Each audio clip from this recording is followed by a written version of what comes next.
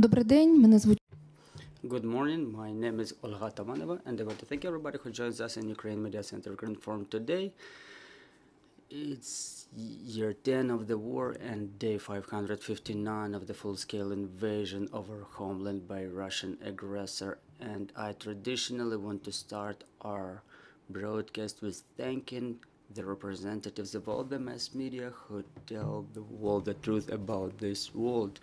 Today we invited you, you may have probably heard about the special operation of Chief Intelligence Department called Titmouse, uh, the hijacking of Russian helicopters. So we've invited you for the presentation of this brilliant operation that will be described in the textbooks on history and intelligence. I would like to ask you not to broadcast this event online. You will be able to use the video after this event is over.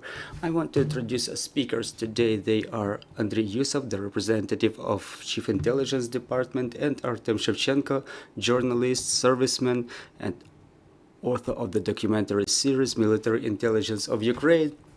Good morning, gentlemen. Mr. Andriy, the floor is yours. Please tell us about this operation. Good morning, dear friends, colleagues. Really thank you. Thank you for your attention. The special operation of Chief Intelligence Department of the Ministry of Defense of Ukraine was quite resonant both in Ukraine and in aggressor country, but abroad too. And it's quite reasonable. It's a very important and difficult operation because it has a principal meaning for the security and defense forces of Ukraine and it will have long-term consequences for the aggressor state, for their morale, as well as for their security and defense sector because this operation resulted in us obtaining very important information about aviation of the enemy and many other details that will be of help of us in defending our skies and destroying the enemy. Obviously, we have to thank National Police of Ukraine in, for the and the armed forces of Ukraine for the assistance in this operation. It's a many month work which had no precedence in Ukraine before. We have examples in global history. We know the operations when different pilots, due to different reasons, brought their aircraft to the switching side. But now we're talking about the genocide war of Russia against Ukraine and what has happened. We can tell you about it after the most recent presentations, in particular the presentation of the documentary, for example, the, the name, Maxim Kuzminov, captain, the pilot of Mi-8 helicopter. His decision was political, ideological. It was a decision of a person who condemns the genocide war of Russia against Ukraine, who condemns the actions of Putin's regime, and it all required very diligent work, assistance, support, and what's important, the pilot came up with this initiative first, and after a number of actions taken, this operation had taken place and it was successful. We now can discuss the details. You have, have probably all seen the documentary and we will talk about this trilogy also, there was an interview by the by a famous Ukrainian blogger, and we will have some communication later on. But we had results. A lot of Russian pilots are killed. Many more of them were taken prisoners of war. But that's yet a pivotal point when people who condemn condemn the war of Russia against Ukraine who bring the very pricey material to us and who choose the right side of history and it's just the beginning. I would like to give the floor to Artem Shevchenko, the author of trilogy Military Intelligence of Ukraine and author of this film. downed pilots. Artem, you are the author of the documentary, so what was behind the curtain? Good morning, we've made the third documentary dedicated to the successful fight of Ukraine against the enemy in the skies. We were able to take enemy out of the skies and we've shown this in the movie. This is a long, exhausting fight. Not everything was just as successful as now from the very beginning, but it was heroic from the beginning. So eventually we were able to take the enemy out of the skies and to inflict significant damage on the enemy. So we show eight downed pilots in this documentary, starting from a commander of aviation, uh, sorry, evacuation hel helicopter, and all the way until a number of the commanders of aviation regiments. Well, their fate is not heroic. They may or may not have chance to survive. In case of some pilots, their crew chiefs were killed after they were catapulted, and even if they stay alive, they were either killed or taken prisoners of war and then exchanged. The exchange is very important for us, for the Ministry of Defense, for the Chief Intelligence Department, and the headquarters, operational headquarters on prisoners of war. They do everything to exchange our guys for the Russian prisoners of war.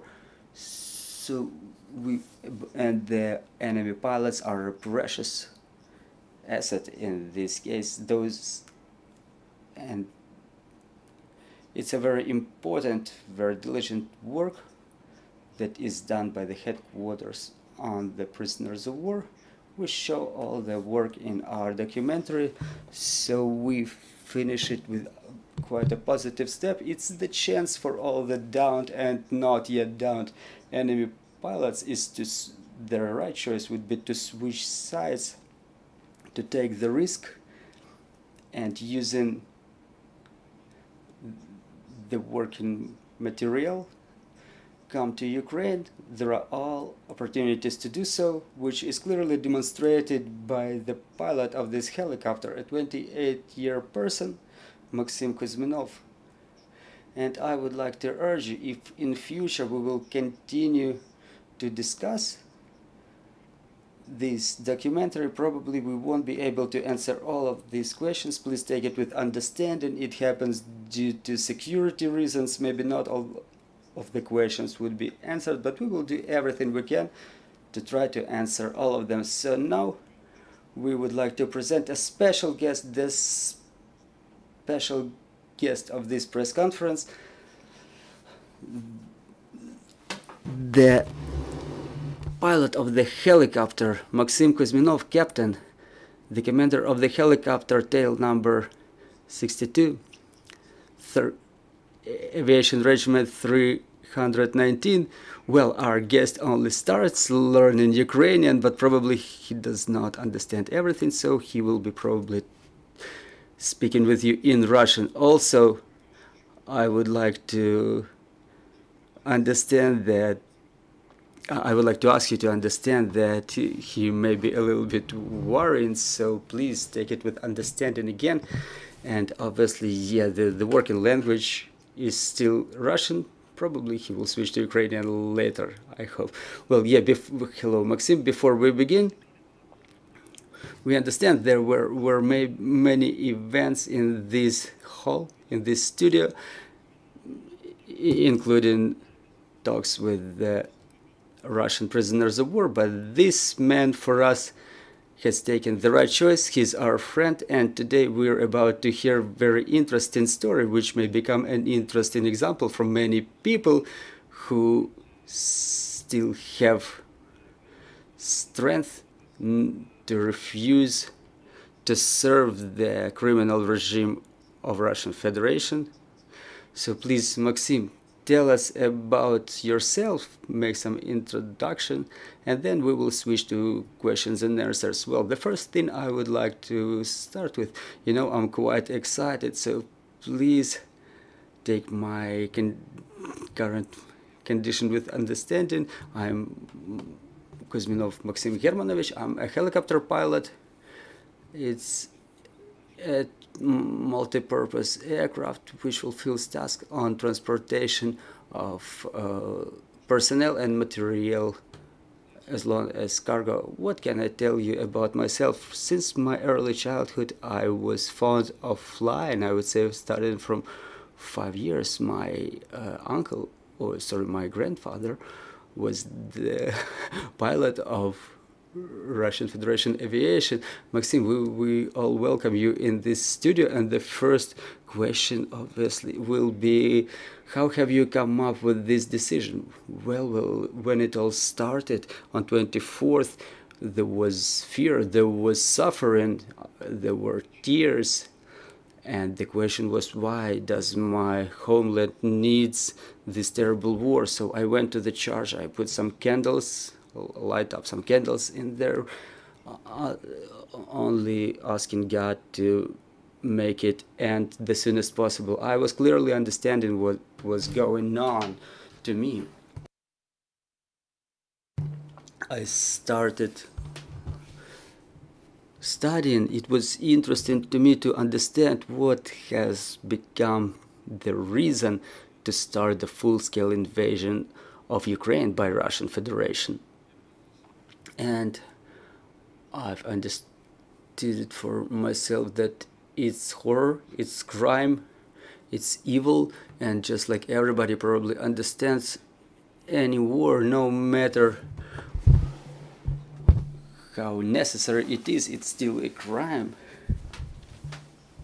And there can be no questions about this. Thank you, Maxim. Dear colleagues, I'm sure you have questions, so please raise your hand and ask your questions. Well, if you ask Maxim, please formulate your questions in Russian for the sake of clear understanding. Dear questions, friends. Microphone. Please introduce yourself. Dmitro Didora, TV channel Espresso. I have questions to the representatives of the Chief Intelligence Department. I don't want to offend anyone, but I understand there are certain precautions. Russia is still our enemy. Has the Security Service of Ukraine and the Chief Intelligence Department processed all the necessary checks to make sure that we that we can receive this gift from Russia? Well, obviously we did. You're not offending us, obviously, as we uh, start these kind of operations. When you'll know, like from the very beginning, Ukraine urges Russians to switch sides with their material. It's no propaganda, it's no lies, and now we see we see with our own eyes how that project was implemented and all the complex of measures was taken to make sure that we're talking not about an enemy game, not about a counter game, but about our operation and real intentions of the pilot from that side. So yes, this situation and all the checks were in place. More questions? Kristina Velichanska, Fakti ICTV. The question is to the pilot. Can you please tell us as of the beginning of the full-scale invasion, where did you serve? What what orders were you supposed to fulfill? And what pushed you to get in touch with Central Intelligence Department and what were your conditions? How were you communicating? Can, can you please give us some little bit more detail? Well, at least what you can. Well, I was serving in Chernigovka, Primorsky Krai, military base 13984, and the, as of the moment of the beginning of the full-scale invasion, I was in Amursky region, and we were building the Baikalo-Amursky main way, so I was on a duty trip. I was assigned to different units, so what served uh, a, a push for me to that decision. this full realization, full understanding of what was going on. I decided for myself that it was a crime, a cruel crime. I've decided for myself that I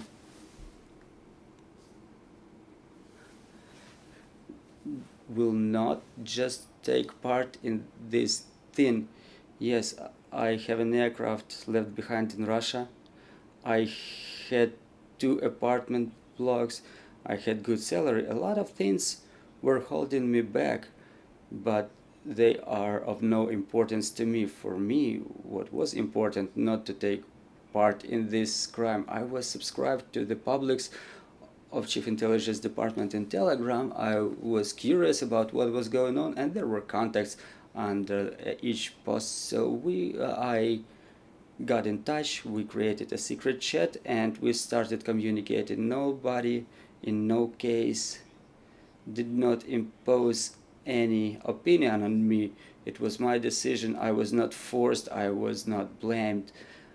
Again, I decided to do so, and then like within last half a year we were building the routes we were thinking how to make it more safe and secure so and then it has happened.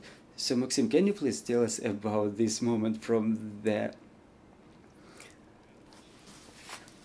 from that moment the helicopter was launched and until you touched the ground in ukraine? Well there was a special request so i did not hijack the helicopter. I brought it from point a to point b.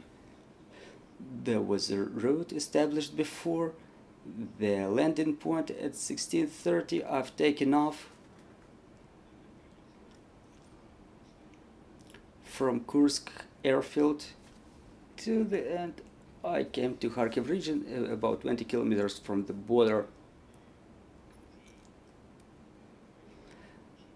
then somewhere near Shebekino, I was flying on a very low altitude, 5 to 10 meters, keeping radio silence. Then as I was crossing the border, I started receiving fire. I don't know I, who was firing, but I suppose it was Russian side and I was injured. I got a leg injury with the small, small arms leg injury. Then, as I've just said, uh, I've flown 20 kilometers. I've landed in the established spot. I had two crew members on, on board.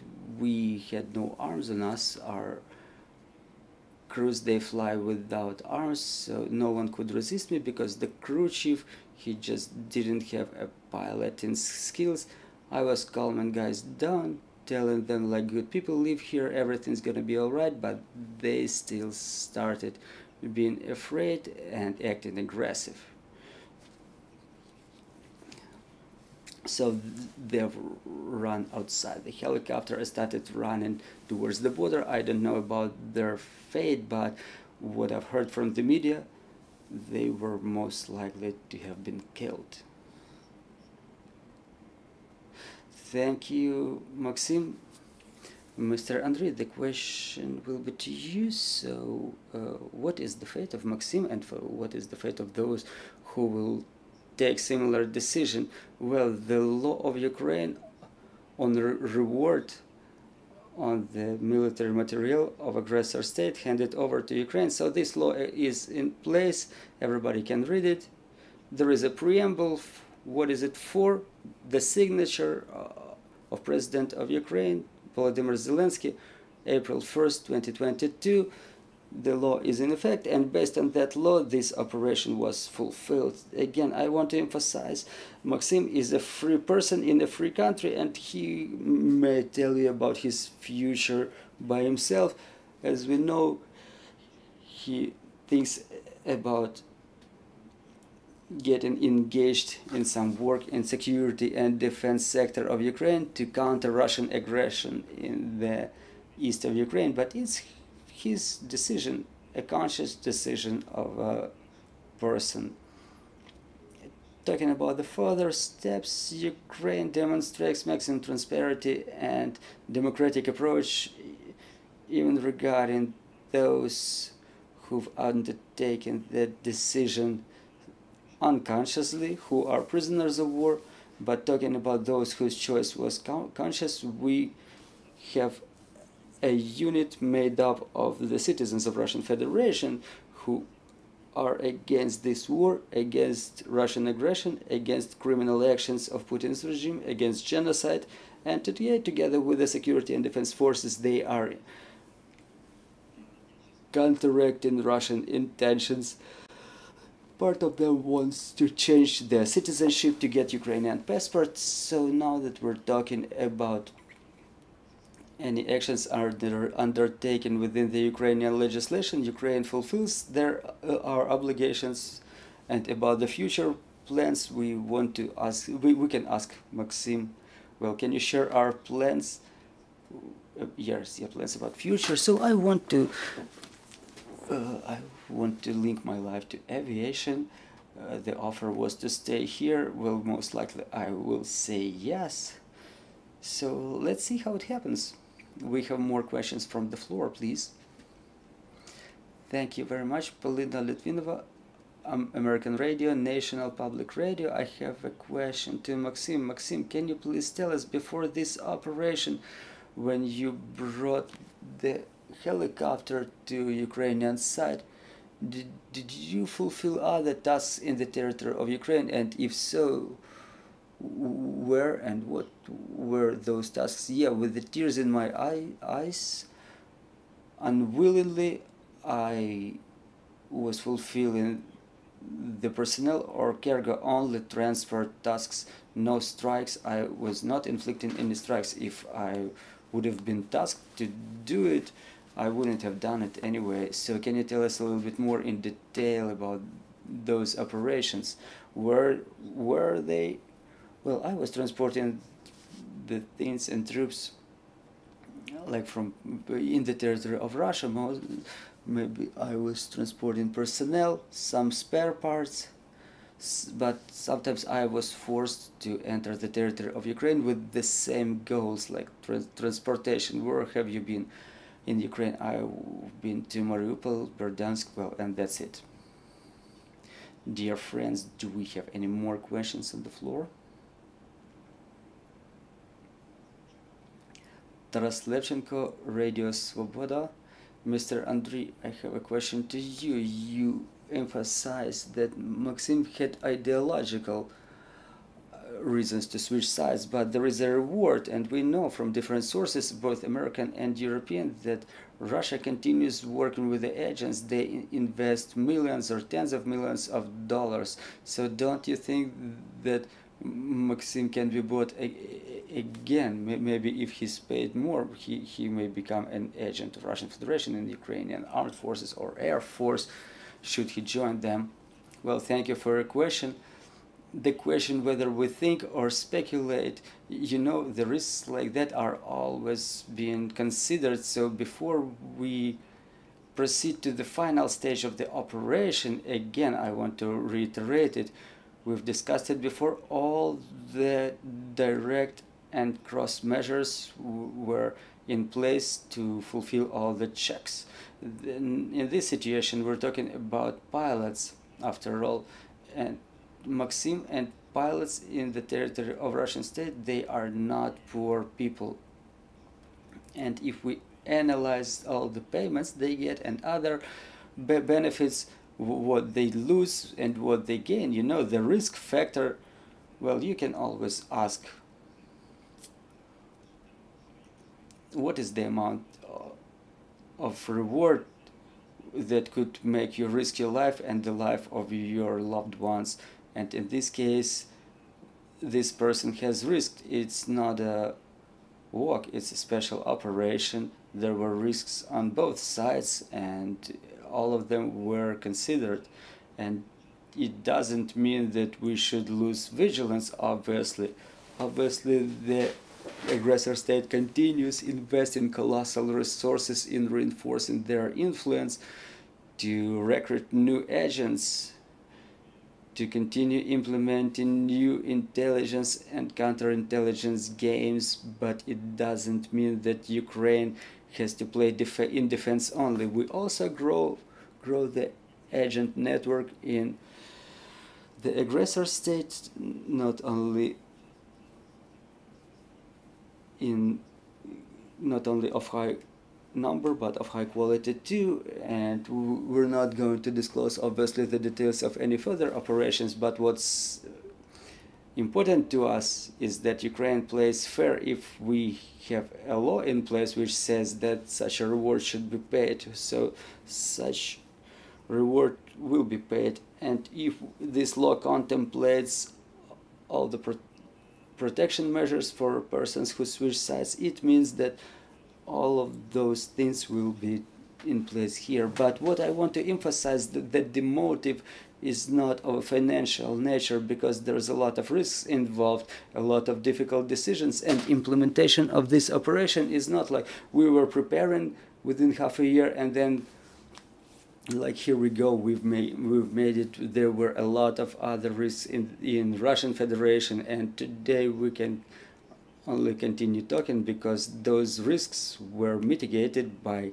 a diligent work and the factor of loved ones of loved ones of the pilot in Ukraine is more than eloquent in my opinion. Thank you. Dear friends, do we have any more questions?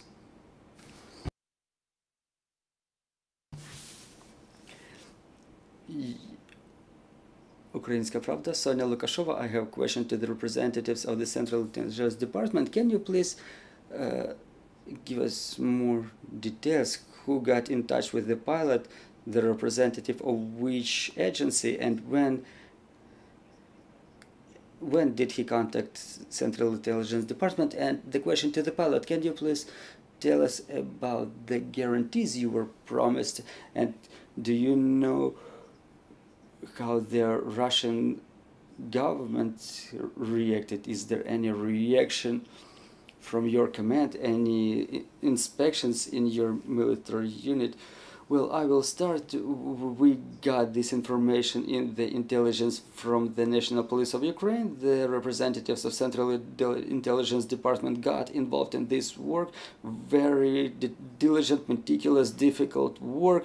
The establishment of communication, check of reliability, check of the security of those communication channels. It was all done in compliance with the highest standards that can exist in the operation of the special services like that. I cannot tell you directly, obviously, who was it. They were the operatives of the Central Intelligence Department. It was quite a high class, high quality job done by them.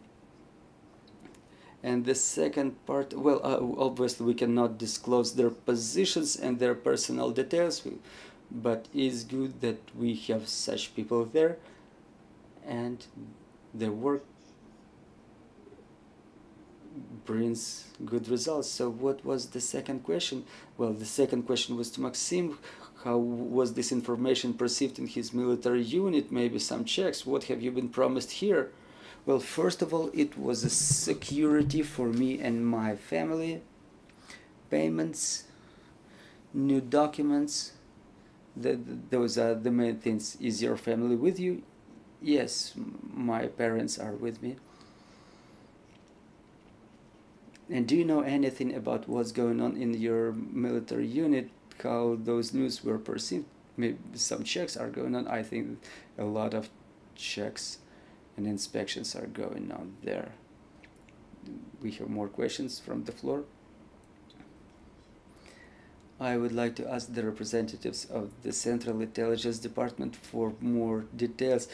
I understand that you were in touch for six months. Maybe some attempts failed, something just didn't work. So that stage when you've already come up to the very final stage of evacuation of pilot, what was going on then? What's with the helicopter?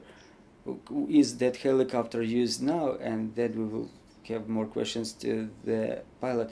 Well, look, due to the nature of this special operation, we cannot disclose all the details, like with all due respect, but obviously the work was long. It didn't happen like right away. It didn't happen with the first attempt. we were trying for, to do it, but some factors worked that made us postpone or suspend the operation. And it's good we were able to come to this point on the 9th of August. I cannot disclose all the standards. The law prohibits to do so, but it's a high quality work worth of the highest standards of the special services I compared with the Operation Diamond uh, completed by the Mossad Israeli intelligence in 1966. Back then they have convinced the Iraqi pilot to bring the MiG-21, then most modern Russian fighter jet that were supplied to Iraq. They were also brought to Syria and Egypt. They were preparing for the war, and Mossad was understanding that the Arabic countries were preparing the invasion. Otherwise, why would they get so much material from Russia, from Soviet Union? And that operation, after very long work, which was brilliant, uh, it, it just didn't happen in a blink of an eye. One Syrian pilot was killed but eventually operation was successful. Israelis got the MiG-21 fixed-wing aircraft, and thanks to that, they got the advantage in the skies during the so-called Six Days War. All the Russian aviation, all the Soviet aviation was destroyed by Israeli Mirage fighters. And basically, Israel won this Six Days War in six days.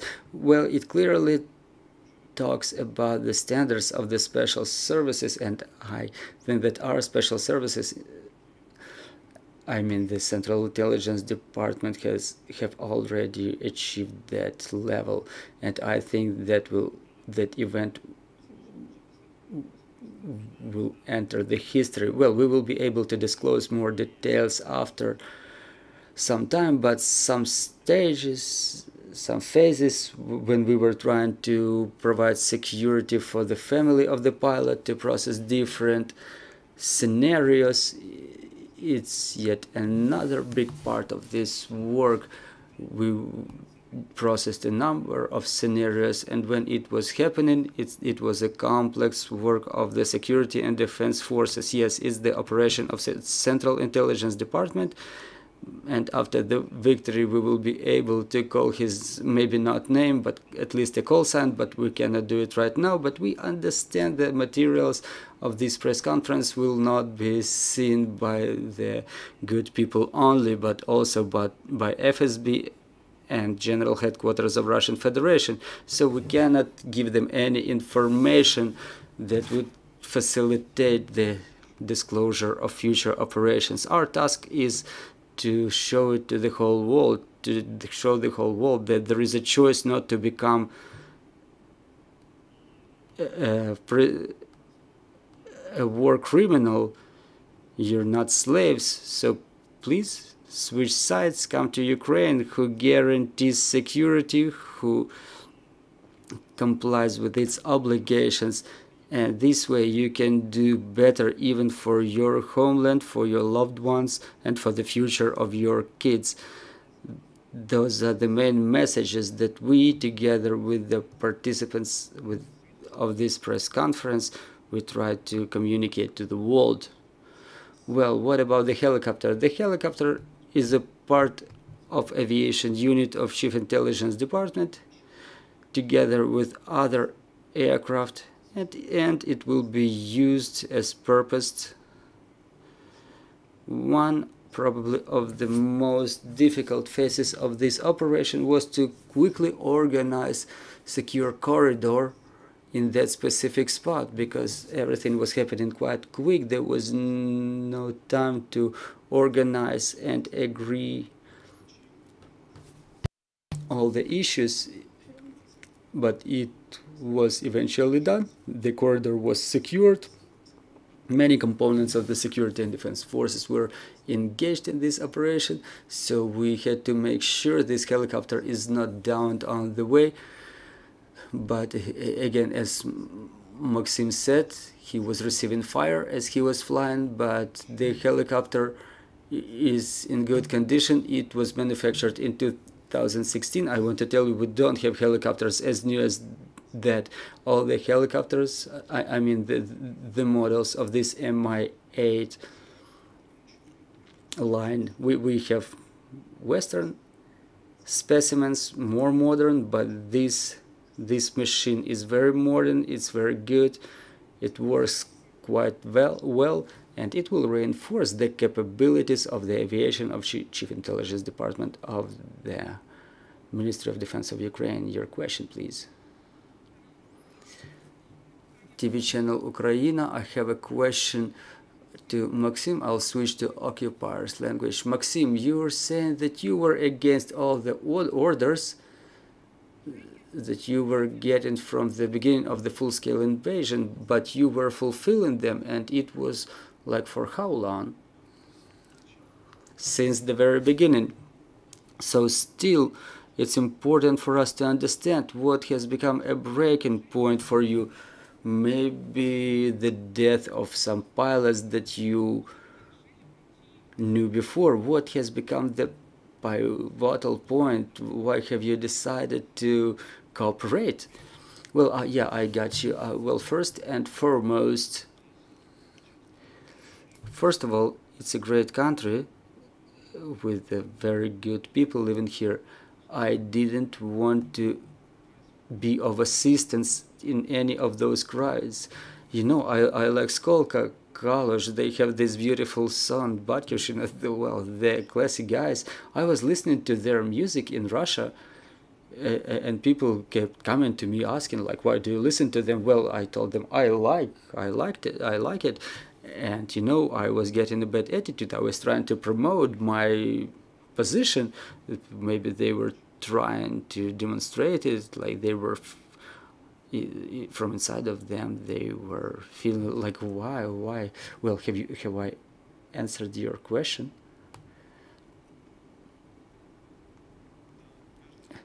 Every day every day i was in touch and everything was all, all right. So your parents have they agreed? Yeah they were supporting me completely well the parents were clearly understanding what was going on too. Well we have more questions. New place i had a similar question about the parents. I wanted to find out a little bit more in detail, if it's possible, when you have taken the decision to switch sides, how have you communicated it to the parents? How have you discussed it, uh, given the, that fact that your grandfather is a pilot, is a decorated pilot in Russian Federation? Well, I've taken the decision in December 2022 and this is when it all started the countdown has started talking about my grandfather he tragically passed in 2013 in in the sky so to say in the age of 72 years he was quite a vivid person he has a lot of uh, hours of experience in 19 types of aircraft so I followed his steps, so to say. Maxim, question about the sentiment in your military unit, what they, what it was, and maybe you have something to say to those who are still fulfilling the orders there. Well, I think that many people just don't understand what's going on. They don't think with their heads. Like somewhere up there they are not quite friendly with their heads but what do you want to say I li I've liked our country Ukraine it's inhabited by kind people it has a lot of beautiful places I obviously would like the guys to follow me to fly over here to see that there are no Nazis, no fascists living here as they are told in propaganda news. I would like obviously them to see everything with their own eyes. Well, dear friends, do we have any more questions? Let's take two more questions and wrap up. Good morning, Nikita Galka, Public TV of Ukraine. I have a question to the pilot. I would like to ask, do you know about any cases when the representatives of the Ministry of Defense of Russia or any people like those were trying to get in touch with you or your family after you've taken the helicopter to Ukraine? And the second question is to the representatives of intelligence. The enemy helicopter, according to the previous information, it was transporting some parts for the aircraft. So what were those parts for which type of fixed-wing aircraft? And the, again, enemy helicopter, from the point of view of technologies and communication, is of great value to Ukraine. Were those elements used to better understand what's going on inside the enemy country in that specific unit. What are the plans of that specific unit of Russian Federation? Thank you. I think that people were trying to contact me, but I was not responding. I was not getting in touch with anybody in no way. Yeah, the helicopter tail number 62 AMTSH. It was transporting a valuable cargo, the aviation equipment of different types with no details. It was for fighter jets Su-30SM and Su-35, I think. So, respectively, it significantly has influenced the capability battle capabilities of those aircraft to, to which those components were going. And you are right, the technological equipment that is installed on the rotary wing aircraft let us better understand the enemy aviation security and communication systems. And it significantly influenced it has significantly influenced already and it will continue influencing the result of counteraction the enemy threats from the skies. After this, as you may remember, there were a number of successful operations. Maybe it's all connected, but maybe not, but the fact that it's a valuable information and that it's used it's used for its purpose it's the fact. Well we had another question. Do we have any other questions left? Please can you please tell us? You're showing your face. You could, could have your face covered like aren't you afraid for your life? Well you know it's a war going on and wouldn't you like for example to go abroad of Ukraine somewhere to Europe? Do you have any motives to do so? Or do you want to stay here? So tell us a little bit more about your plans. Again your parents they left everything behind. They've come here. So are, aren't they afraid to stay here? Aren't they afraid of Russian agents here? Well I'm uh, very believe in person. I trust in god and i start my day with the worst universe is my way but but you, you know the fear humiliates you know i am not afraid to anything. If god gave me this life the god will take it away. I'm of course i'm excited. Well talking about uh, living for Europe, you know, the, there are such opportunities. Many ways are open to me, but we'll see. We'll see how it happens. Well, Andriy, well, talking about the face, we have to understand that Ukrainians have not seen Maxim's face, but for FSB, it's no secret. They have seen his face and again it's the matter of principle. It's the decision of the pilot to be public because this story is public. It's open and in this situation it's a matter of principle of Ukraine and of the pilot. And we understand as long as Putin's regime exists there are threats for both pilots and millions of Ukrainians as long uh, as well as uh, millions of citizens of Russian Federation as long as this war is going on. So the task of all the people in the free world is the victory of Ukraine and our task and the task of all the security and defense forces is to make sure it happens the soonest possible. Then there will be safety and security for all dear colleagues. Thank you very much for being with us today. I want to thank all of our speakers and I hope it will be not only Maxim who will use these opportunities provided by our country. I want to thank you. I want to thank our armed forces. Let's continue working for our victory. Glory to Ukraine. Glory to the heroes.